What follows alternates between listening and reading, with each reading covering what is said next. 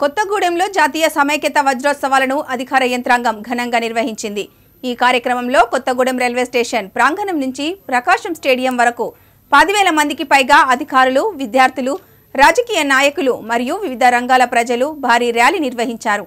అనంతరం సభ వద్ద జిల్లా ఎస్పీ జిల్లా కలెక్టర్ మరియు ఎమ్మెల్యే వనామా వెంకటేశ్వరరావు పాల్గొని మాట్లాడారు.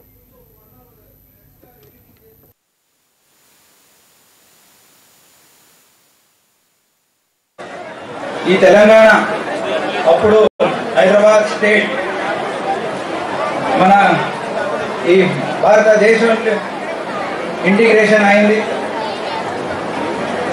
ఆ కమమరేషన్లో ఈరోజు డెబ్బై ఐదు సంవత్సరాలు అంటే సెవెంటీ ఫైవ్ ఇయర్స్ కలిసిపోయింది ఈ సెవెంటీ ఫైవ్ ఇయర్స్లో ఈ తెలంగాణ రావాలంటే ఇవాళ ర్యాలీ ఇంత పెద్ద ఎత్తున పదిహేను వేల పైచీలకు ప్రతి కాన్స్టిట్యున్సీ మనం చేస్తూ నాకు చూస్తుంటే పదిహేను వేలు కాదు ఇంకా ఇరవై వేల పైన మంది వచ్చి ఇంకా వస్తూ ఉన్నారు.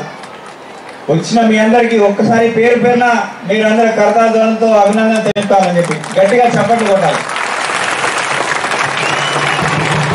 మన తెలంగాణ రాష్ట్రం అప్పటి హైదరాబాద్ స్టేట్ పంతొమ్మిది వందల నలభై ఎనిమిదిలో భారతదేశంలో కలిసి నేడు డెబ్బై ఐదు తో ఈ యొక్క స్వాతంత్ర వజ్రోత్సవాన్ని మనం గర్వంగా జరుపుకుంటున్నాం.